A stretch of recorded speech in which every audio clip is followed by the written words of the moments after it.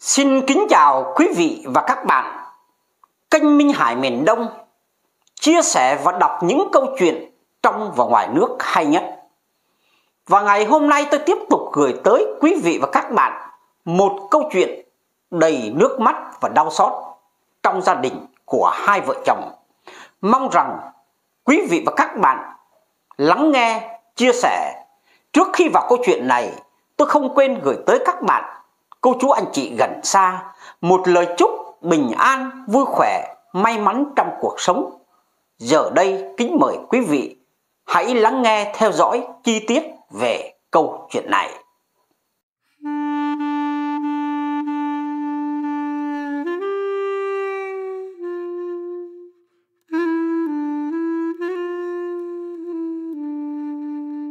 Thấy vợ ngồi chậm trễ trên chiếc xe SH đắt tiền của mình.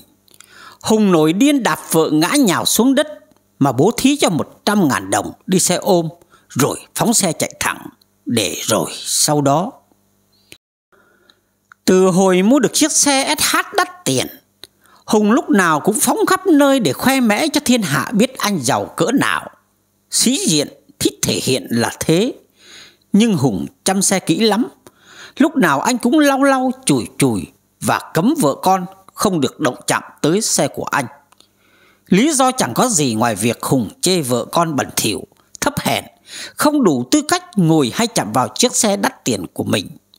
Xe này chỉ anh đi và chở gái đẹp thôi, chứ vợ xề thì không có cửa.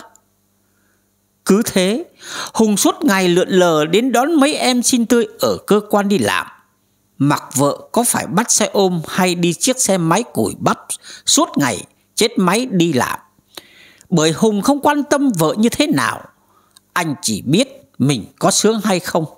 Và chiếc xe SH mới mua này là niềm tự hào của đời anh. đầy chỗ làm của anh đã có ai mua được xe đắt tiền như anh đâu. Toàn đi mấy con xe rim ghẻ, xe tàu, các thể loại dựng bên xe anh chả xứng tầm chút nào hết. Thế rồi hôm đó, em trai của vợ có lễ đi ăn hỏi nhà gái để lấy vợ. Sáng sớm, Linh, vợ của Hùng, đã dậy chuẩn bị mọi thứ để về ngoại.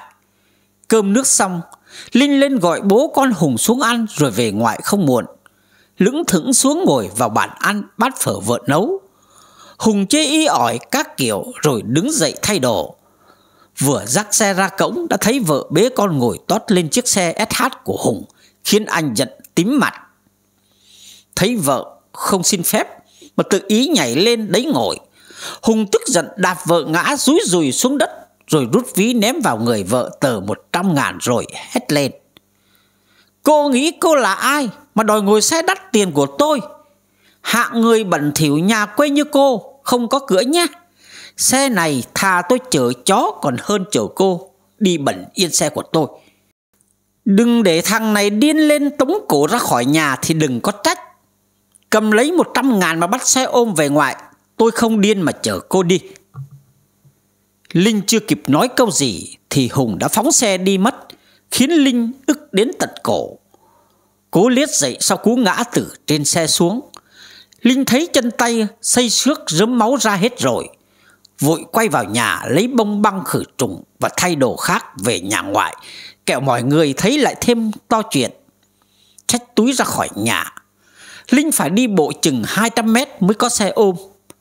Lên xe, bảo bác ấy trở về ngoại. Linh không sao giấu nỗi, giọt nước mắt khi bác xe ôm hỏi. Chồng đâu không chở lại để cô đi một mình như thế này. Cố ngăn dòng nước mắt không chảy nữa. Linh nói dối rằng chồng mình ở đó từ hôm qua rồi. Cú ngã lúc nãy khiến người cô vẫn đau ê ẩm và rỉ máu. Ngồi sau xe mà Linh cứ suy nghĩ về chồng mình. Lấy nhau gần chục năm nay, chưa một ngày anh coi cô là vợ hết. Lúc nào Linh cũng chỉ nhận được sự khinh bỉ, ghẻ lạnh của chồng mà thôi. Chưa bao giờ cô được nghe những lời ngọt nhẹ, những sự quan tâm của người chồng đối với vợ mình là gì hết.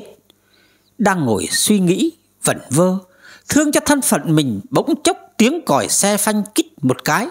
Linh chỉ kịp nhìn về phía trước. Đó là chiếc xe tải. Nó đi ngược chiều và sắp đâm vào xe cô thì phải.